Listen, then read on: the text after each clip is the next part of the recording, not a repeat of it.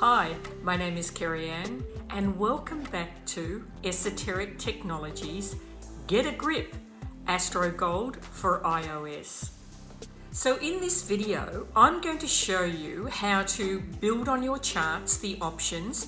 We're going to be looking at the toolbar and go specifically into the settings. I'm also going to show you how to save to files and editing and of course the event type. So stay tuned and let's get a grip on Astro Gold for iOS.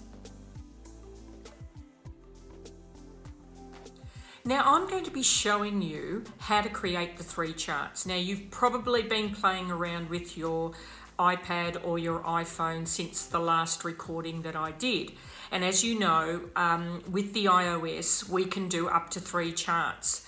But what you may not have um, played around with is the other options that are available. So let's go have a look now. Select the amount of charts you wish to display. Now in this area, you can see that we can either create transits here and now, we can edit charts, we can create a new chart, subsidiary charts, and also select from the files that we've created.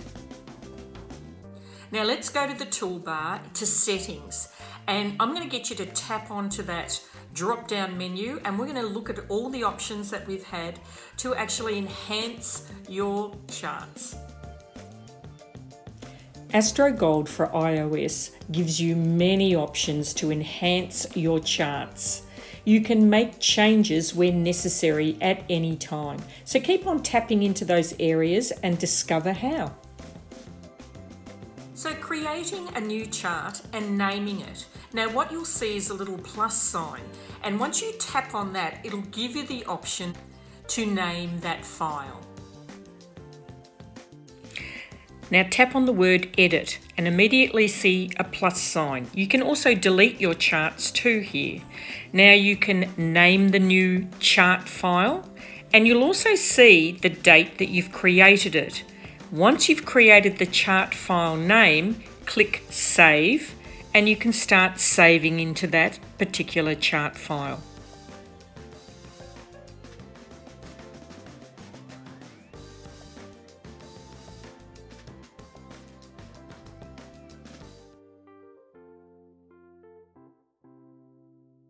Editing any chart is so easy. Just simply tap on to Edit and make your changes.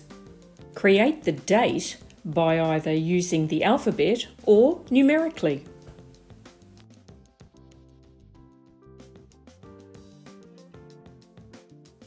Deleting a file is quite easy. All you do is just swipe to the left and click delete. Too many charts? Quite easy. Just swipe to the left and delete.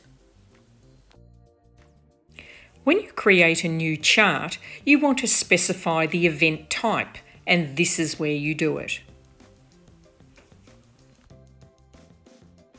So now let's go to country or US state.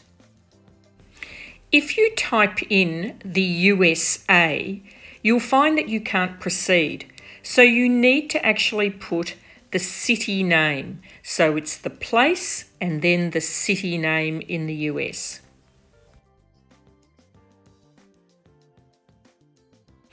In Australia, we can just add the city name and then add the country Australia. Now the final area that I want to take you to is subsidiary charts. Now this is where you're going to have a world of fun. So let's just click on to that. So once you've clicked on to subsidiary charts, you can see that you've got many options and you can just keep on clicking through here to find where you need to make your changes. Well, that's it. I hope you've got a grip on AstroGold for iOS. I use this software program in my School of Astrology, Zoom to the Stars. For all you newly interested budding astrologers and the seasoned astrologers. You just can't go wrong. And we'll see you next time.